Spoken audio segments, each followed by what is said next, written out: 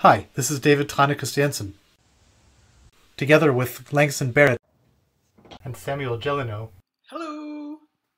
I've been working on a system for adding macros to languages with types. How does it work? Well, the language we've been making is called Klister. It features an ML style type system, which is to say it's got parametric polymorphism in a premex, prenex position, it's got data types, definitions by pattern matching, principal types, all the usual things you expect from ML. It's also got type-aware hygienic macros, which I'll get into the meaning of in a little bit, and it has a Racket-style module system, which I won't really get much into, but we can talk about in the question period if you want. Uh, is very much a work in progress at this point, but we think that it's made enough progress that it's worth showing the community at least. So what does the language look like? Right now, it has a highly parenthesized syntax, very much like that of something like Scheme, this isn't a fundamental aspect though, and we could replace it with a more traditional ML style syntax using techniques developed for a language called Honu, which you can look up if you want. But for now, we've got the parentheses. So the program example you see on your screen starts with a data type definition. So we're defining a data type called pair, which takes two type parameters a and b, and has a single constructor, also called pair, which takes an a and a b as arguments. If there are more constructors, then they just follow after the, after the definition of pair. Um, we follow the AGDA convention of writing big things with big letters and small things with small letters, as opposed to the more typical Haskell convention where you have, uh, you know, data types with capital letters and type variables with small letters. And then we have a definition of first, which takes uh, some pair p, and then pattern matches on p. So pattern matching is built in, and it gives you back the first thing, the, the x, following the constructor pair. Devotees of OCaml or of recent versions of GHC with the uh, with the lambda case extension turned on might think, but hey, why do I have to name p? Well, you don't. You can also define the second projection this way. You could say define second, lambda case, pair whatever y, and that gives you back y. On the other hand, unlike those languages, adding this feature to Klister did not require changing the compiler. It's just a library. Here's what that library looks like we can define macro lambda case, and then we, we provide a function which transforms a piece of syntax into a new piece of syntax. And it does so in a monadic context, which is why there's a little bit more decoration there than you may be expecting. So the lambda case macro takes in a piece of syntax. It then does a case analysis on it using the syntax case operator, which is uh, so, sort of a less powerful version of Kent Dybvig's one for scheme. And we get a list, which is the lambda case keyword itself, which we're binding to underscore because we don't care about it. We know what we're defining, followed by some cases.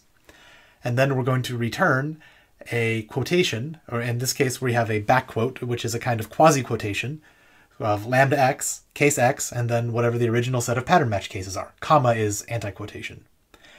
Um, the, for those in the room who are more used to something like Scheme, the backquote here isn't like Scheme's backquote, it's more like Scheme's syntax backquote, so the one with the hash mark ahead of it. And macros have the type syntax arrow macro of syntax. So macro here is a monadic context in which you can do many of the things that are useful during metaprogramming, like comparing identifiers by their bindings. Uh, we have a hygienic macro system, and what we mean by that is that uh, given that definition of lambda case, if I then go into a context where I've defined my own case macro, perhaps because I'm working in some EDSL or because I wanted to add some features that weren't in the default one, and then I've defined, you know, a constant x to be 42, well, what happens then when I use this in this way? You know, we've got lambda case of pair AB, and then we're going to compute x added to the product of A and B. Well, when we expand this, we see that there's an x and there's a case hanging around. And this case right here does not refer to the case I've just defined. Instead, it refers to the case that was in scope at the macro definition site. And this x right here is not captured by the x that was introduced by macro expansion. Instead, it's referring to the x that was in scope where I originally used it. So in other words, macro expansion neither captures variables nor causes its own things to get captured. These are sort of kept separate. And this makes it much easier to write correct macros. Um, hygiene really isn't an area of innovation in Klister. We're using Matthew Flatt's 2016 set of scopes model. There's the POPL paper binding as sets of scopes. Um, you can sort of download it, implement it, and you'll get something very much like what we've got here. Um, nonetheless, we think it's important. Um, where we're trying to do our innovation is in making macros type aware. So one of the things available in the macro monad is the ability to ask for the type that the uh, piece of syntax we're producing must inhabit in order for the program to type check. So in this case, we've defined a macro called m. It's going to take a piece of syntax as its argument, which we're kind of ignoring here. And it then binds the current type to t. And then it does this type case operator on t. And if it's being used in a string context, then it's going to emit code which is a string, the name of this workshop. Uh, I pronounce it tidy. I think some people pronounce it tide. I'm not sure which is right, but I'm going to do it my way. Um, and if the current context is expecting a pair, then it's going to emit the pair constructor with invocations of the macro for later expansion. So you get sort of a, a, tree structure of pairs where all of the leaves are the string tidy. And this is going to be determined by the type you invoke the macro at. And if you use it at any other type, it'll just say, ah, I don't have an overloading for that type. It's important to note that this type case operator is not a sort of a runtime case on types. Like it's not violating parametricity. Instead, the type case operator in a compile time program, which is in a meta program, is doing case analysis on the types of the program being generated, so the next phase. So a compile time meta program can analyze the types of a of the runtime program that it's in the process of constructing. Uh, an important property, once we start getting into types in ML, that you may be thinking about is the principal types property, which says that every program has a unique most general type. Um, this is true, but it's a truth with modification, right? So actually, every complete program has a unique most general type because you know, if a program has a hole in it, if it's if it's not done yet, then we don't know which type variables we can generalize. We may be missing some unification constraints that will arise when the hole is filled, so on and so forth. Um, and not only that, it's actually every complete type correct program has a unique most general type. And, and this is kind of a tautology, but um, you know, like, of course, the program doesn't have a most general type if it doesn't have a type at all. However, thinking about type errors is important to understanding a particular challenge that we've had to address. So let's say I define this data type called both, which is a homogeneous pair, so both projections have the same type inside of them. And then I invoke both on the string glue and the number 2. Well, Clearly this is not right because glue and 2 don't have the same type, but where does the error go? Well, one thing we could do is we could say the bug is on glue, and that's because the type checker decided to visit 2 first, which is its right to do. You know, it can visit things in any order, which is one of the wonderful consequences of the principal typing property. And, you know, we can say, oh, well, we, we wanted an int, but we got a string. Alternatively, we could say, oh, we wanted a string, but we got an int, and blame the number 2. Uh, there's been a lot of work on how to make these error messages more predictable and less sensitive to the internal implementation choices of the type checker. But this is the kind of thing you'll start getting if you do the standard undergraduate textbook implementation of ML. Um, similarly, we um, also want to avoid having implementation check choices from the type checker leak into our macro executions. In other words, just as we as as it's nice and worthy of research to make sure that we're not observing type checker guts in our error message production, we also want to make sure that a change in the order of traversal of the type checker isn't going to cause our macros to start spitting out different answers. That would make it much more difficult to program with this system. So returning to our definition of the macro m, um, if we have these two invocations, what we really want it to be the case is that both of these should expand successfully, right? So both of hello and m. Well, when we invoke m, we see that the current goal type is string, and so, you know, we're going to emit tidy. Similarly, with this m, we can see that the goal type is a pair. And so we're going to emit the pair constructor.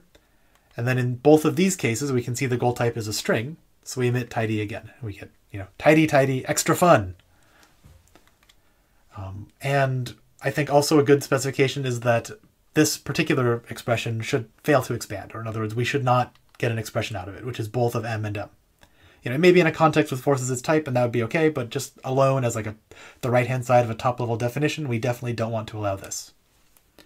And so, what's happening here?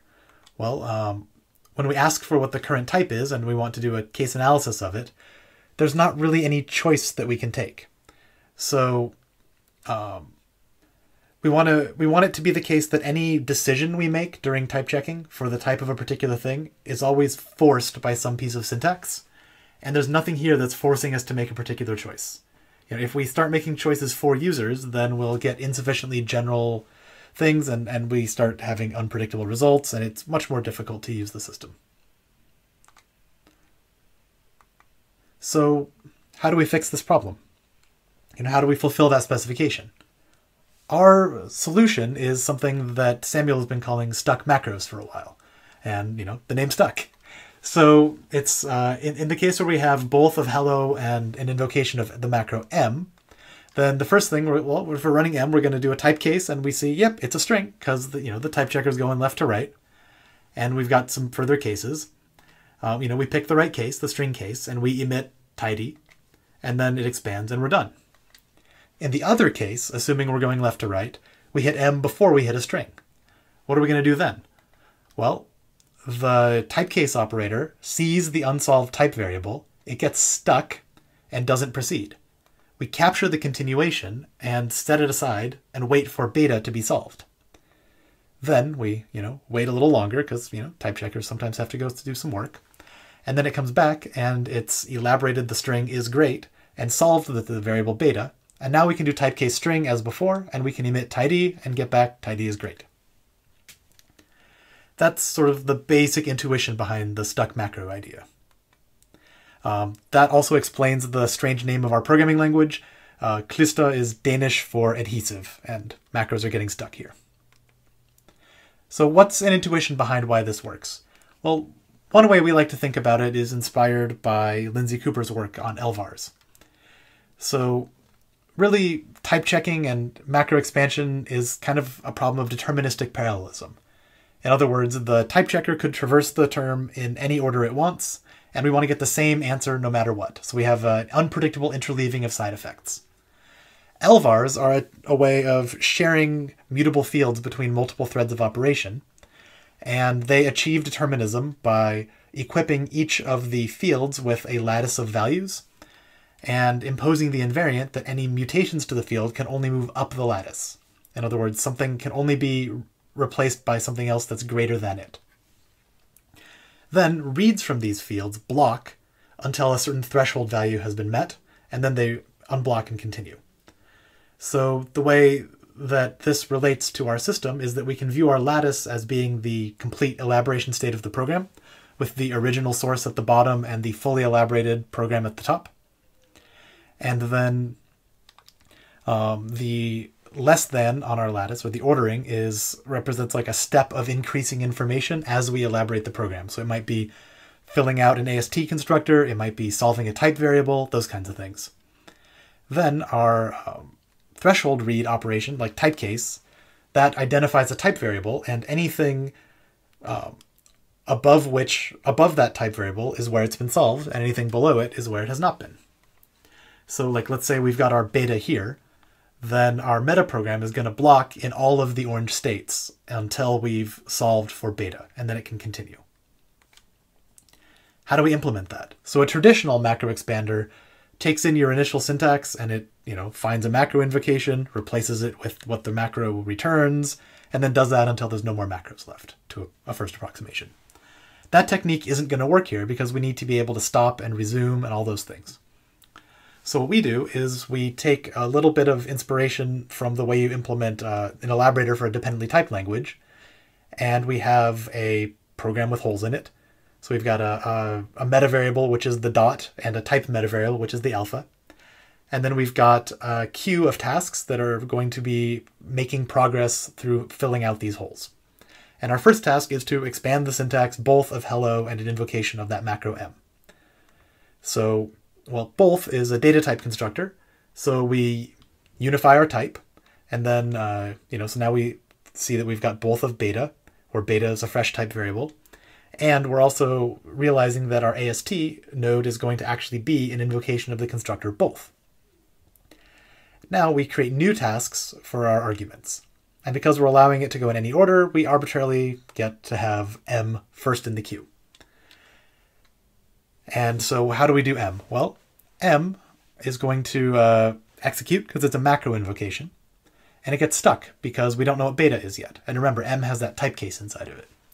So now uh, we kick it to the end of the queue with a little note saying, you know, revisit me once beta has been solved. And now we have a string. Well, we know what to do with a string, right? We can unify the type with, with string, and then if uh, that works out, then we fill in the expanded AST. So our beta becomes string, and our hello goes into one of the subnodes. Um, and we're done with that task. Now, we can unstick because our goal type is known, and we can fill out tidy into our slot here. So the key features of Klister so far, uh, under its current status of development, or its current level of development, first off, we have these type-aware hygienic macros. The only other system we're aware of that has this uh, is, or there's two other systems we're aware of that have this, which are Lean 4 and uh, Alexis King's Hackett. So um, other systems will often have type-aware meta programs. So my earlier work on Idris does this, um, but it doesn't have any macro hygiene. Agda is similarly. Um, or it'll have hygienic macros, but not type-aware macros. So type racket, for example, doesn't, um, it, it just does all of the macro expansion and then type checks the resulting core language program separately. We have a predictable programming model that is based on sort of getting stuck as necessary and then unstuck when we can. And by predictable programming model, we mean, you know, that orders of arbitrary choices taken by the type checker shouldn't be observable to user programs, or to user meta programs in this case. And we have this to an extent in um, in Lean 4 and in Agda, where you can block on a meta variable and wait for its solution. Um, and it'll then reinvoke your meta program from the start, whereas in our case, it just re you know it blocks and then restarts again. But that's fairly similar. Um, most other systems, like my earlier work on Idris, for example, the order of the elaboration is very visible to metaprograms, and that's makes it more difficult to use. Uh, we have no arbitrary locality restrictions for type information, so you could solve a type at the very end of the program, which unblocks a macro at the very beginning. Um, this tends to be a little bit uncommon. You know, a lot of systems take things one phrase at a time or something like that. Uh, we have a single language for metaprogramming and for programming. So once again, Lean 4 has this. They're making they're making cool stuff over there.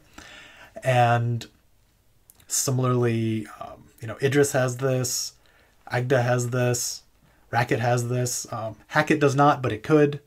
So um, what doesn't have this is something like Scheme's syntax rules macro system. And then finally, where I think we're unique is we have this notion of fine grained stuckness. So a macro can get stuck and it can sort of sit there and wait and and then it can get unstuck and two macros can unstick each other and cooperate by providing each other with type information through unification. And I don't know of any other system that can do this, although you may be able to fake it using the commit operator in Agda's elaboration monad. So where are we going? Like, what's the next step? Well, first off, uh, we have an ongoing effort to implement higher kinded types, which Samuel has mostly been responsible for. And that'll allow us to re-implement a lot of Haskell language extensions as libraries. Hopefully we'll get a nice lab for testing Haskell language extensions much more easily than editing GHC. And, you know, so we can do things like arrow notation if we want. Uh, we also want to explore what features support this style of LVar-inspired programming. So we're thinking, for example, that a version of MetaPRL's resource system could be used in order to add tables to modules, which could be extended and you you know you block and when something appears in the table, then you continue. Um, this might allow us to type classes as a library. We haven't figured it out yet entirely. We also want to find sort of type-friendly ways to implement various Racket metaprogramming features. So Racket has this system of compile time bindings, for example, and we don't have a good way to give that a Hindley-Milner type at the moment. So we'd like to find alternatives to it. Maybe that tables feature could support it. I don't know yet. We haven't yet um, got local expand working, so we can't invert control between the elaborator slash macro expander and a user metaprogram the way you can in Racket. But I think we have some interesting things to do there by treating it as an elaboration task that's witnessing some judgment rather than as just simply a syntax to syntax transformation. But we haven't totally worked out all the details yet. And then finally, I would really like to add some fancier types. You know, my my dream system is some sort of observational type theory or XTT or something with fancy scheme style macros. I think that would be a fun little minimalist language that was highly extensible. But um, we'll see if there's time. If you'd like to collaborate or if you'd just like to download Klister and have a go, then you can get it off of Samuel's GitHub at github.com slash gelisam slash Klister. Thank you so much for your attention. We really appreciate it.